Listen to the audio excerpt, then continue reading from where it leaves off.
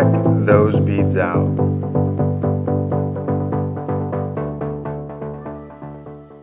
Alright guys, welcome back to the channel. So in this video, I'm going to tackle a question that I've been curious about and I also asked the guys at Hughes Detailing and then I also asked the guys at Gyeon. So Gyeon and also the guys at Hughes Detailing recommended it to use a product where you could kind of reset the coating.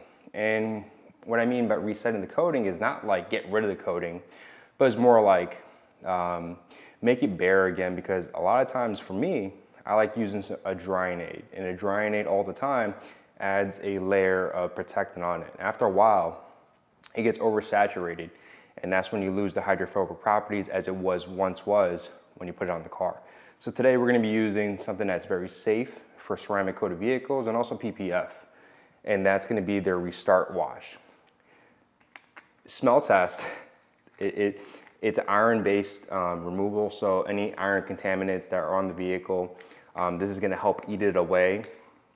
This does not smell good, so it smells like rotten eggs, but that's not the purpose of how it smells. The purpose is how it works. So we're gonna tackle that. We're in my garage again, and I do have something that I'm gonna show you guys later on on how I get rid of all this water.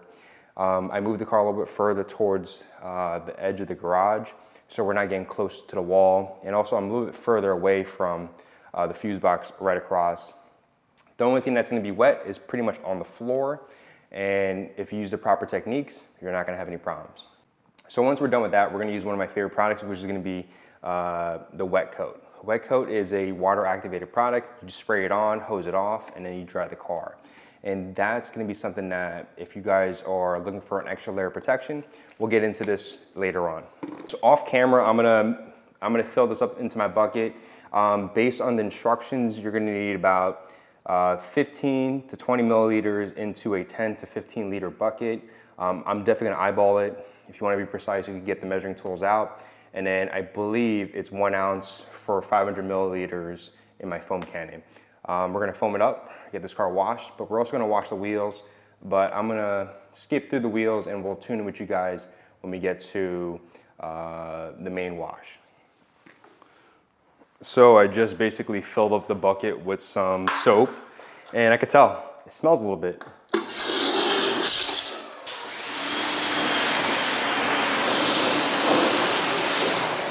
This is supposed to help um, amplify the hydrophobic properties in the ceramic coating that you've applied before in the past. Um, I'll probably do this maybe like every six months. I'm not gonna do it all the time. Um, this is a little higher pH um, level. If you guys know pH levels, pH neutral is more like it's safe for coatings. This is just a little elevated. Again, this is gonna help um, amplify the ceramic coating once again.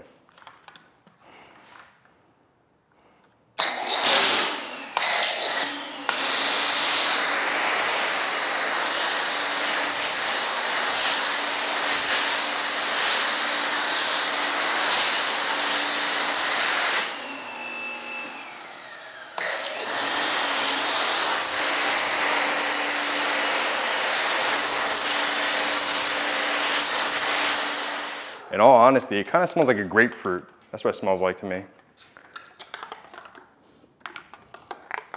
Pour the rest of the soap in here, which really wasn't much anyway left. So I definitely want to thank the team over at Gyeon for giving me all these products. Throughout the next couple wash videos, you're going to see multiple different products I'm using. I definitely want to thank them for giving me this smoothie mitt. Um, all my other mitts are actually dirty from the last wash video I did with John and also Ben. But touching this right now, it's very soft and we're gonna use it. It's nice, thick type of padding. So you can definitely tell this is quality. We're still gonna use the two bucket method. And obviously we're gonna start from the top. What I do like about this soap is that it goes on pretty thick. It went on like shaving cream. Um, what I will say though, this soap, it smells very strong, concentrated, but when you spray it on, it smells like it smells like a grapefruit, kind of. I don't know. If you guys have used this product before, let me know what you guys think. But it kind of smells like a grapefruit. Like it's bitter and kind of sweet a little bit.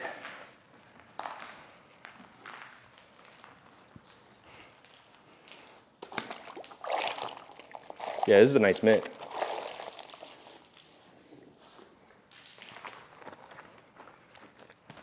Again, you don't need to do this every single wash and it's not suggested to do every single wash.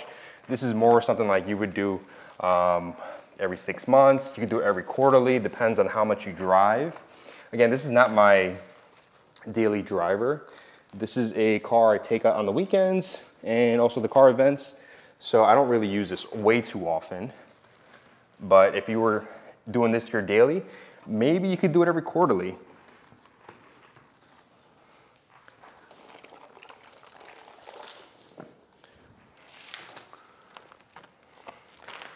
And then when we apply the wet coat, it's gonna be a product that I used um, way before uh, when I had my uh, F80 M3.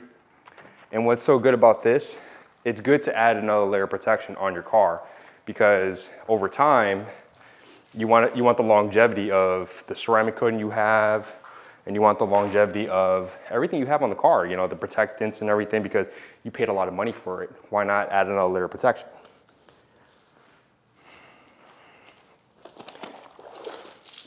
And what's so good about my car is that if you guys haven't seen, you know, obviously the car is fully PPF and it makes it so much easier to wash because I'm not having to worry about swirl marks or anything like that because that's what the PPF is for, is prevent that from happening. But I'm obviously still gonna take the proper precautions. I'm still gonna dip the mitt into the, the rinse bucket as much as possible.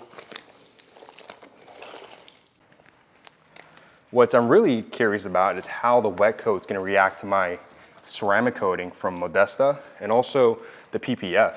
You know, I obviously had it on my F80 and it did a good job, but that car was not ceramic coated and that car was not fully PPF. It was partially, just the front clip. So last time we had John and Ben over, we had a good time. We had an amazing time.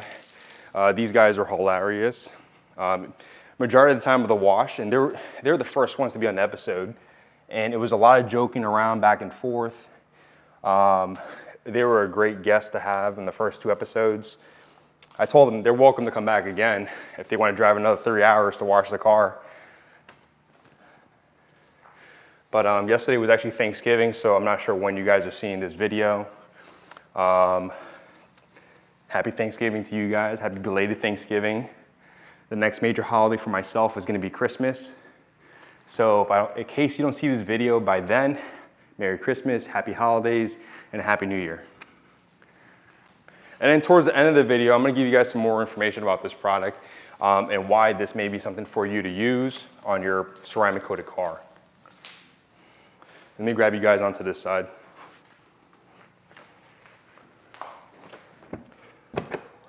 But I've been wanting to do something like this because my go-to, I guess, drying aid right now has been Beadmaker. They actually sent me over at Gyeon a ceramic uh, detailer that could be used as a drying aid. I'm not gonna use it today because we're gonna be using wet coat and wet coat is gonna be doing a lot more protecting than that. I can already see that the ceramic coating is being a little bit more amplified. Only reason because um, before, when I was soaping up the car, you wouldn't see the tight beads. So I'm really curious the results after this. And I'm gonna tell you guys exactly what I see and notice. Um, as of right now, it's a nice slick feeling to it. Um, it, it still hasn't hurt the ceramic coating because I can still see the soap being fought off.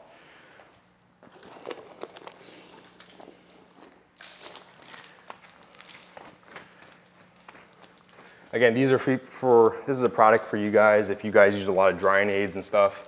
But um, this also helps remove some of the tree sap, um, iron uh, deposits, um, especially if you park near a train station or if you're near a rail yard, a lot of those things, a lot of those iron composites, deposits gets into the air and it kind of gets saturated onto your paint. And that's when you start feeling a lot of the roughness.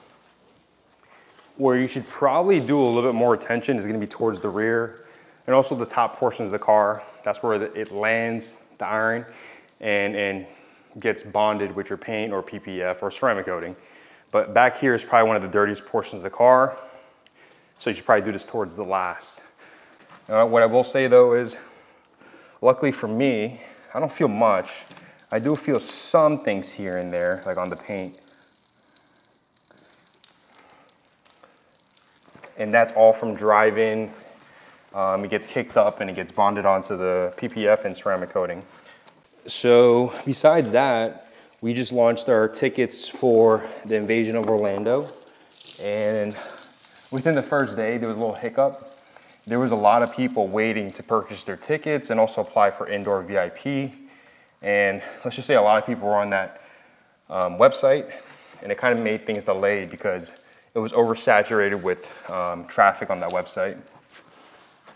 So we launched the tickets. There's a panel reviewing uh, the car show entries. And as of right now, um, people are getting approved, but they're doing only 10 a week. Um, it's from our panel. And right now, I think we have about 10 approved as of right now, but there's a lot of people coming from all across the world. And the reason why I say world is because we literally had people coming from like Canada, which is crazy, especially during that time, because who knows how bad the weather is going to be. But it just shows the dedication of the BMW community and also showcases um, what our events do. They bring out some of the best qualities out there in people and also the builds.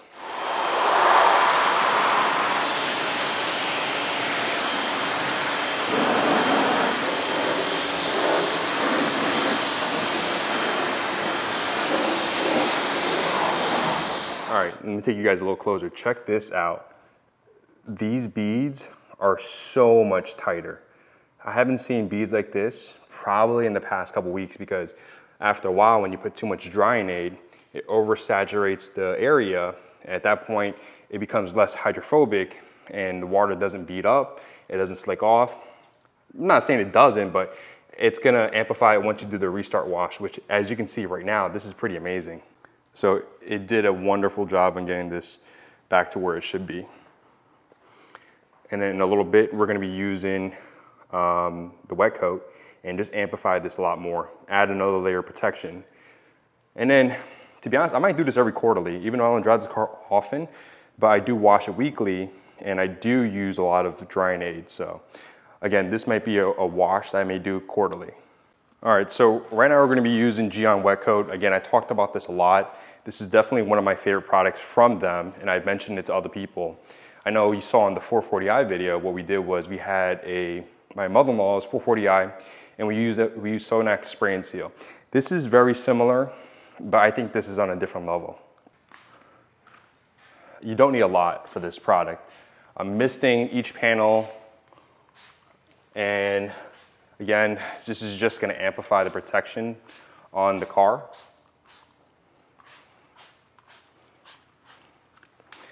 And this is a product you use when it's wet. You don't want to use this product when it's dry.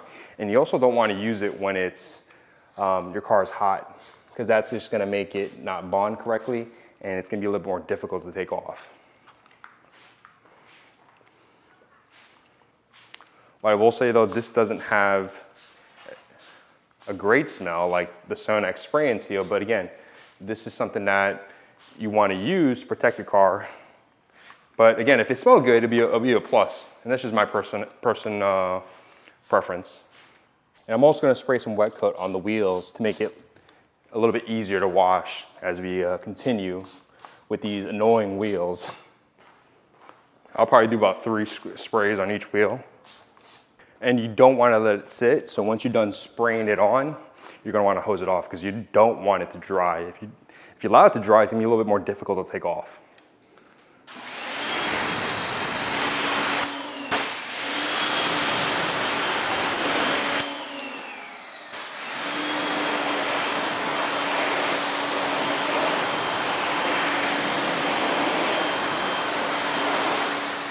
So you do want to be thorough in rinsing this because um, I've had products like this where it's a water activated product and long story short, it got very difficult to take off, especially when it's a hot summer day. Um, long story short, I had to wash the car again, which is obviously you don't want to do it right after you um, protected the car and washed it.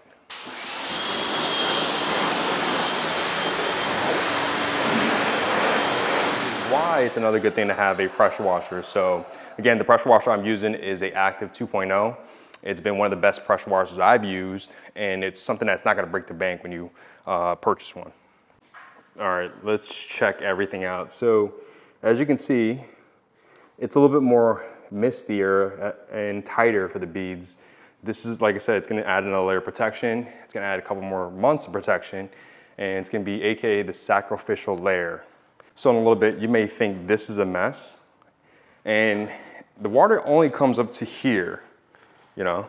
So there's decent amount of water here, but I end up buying a uh, concrete squeegee right over here, and this is gonna help me clean it up. So once I dry the car and pull the car out, we're gonna show you how this works, and it does a great job of getting rid of all this water.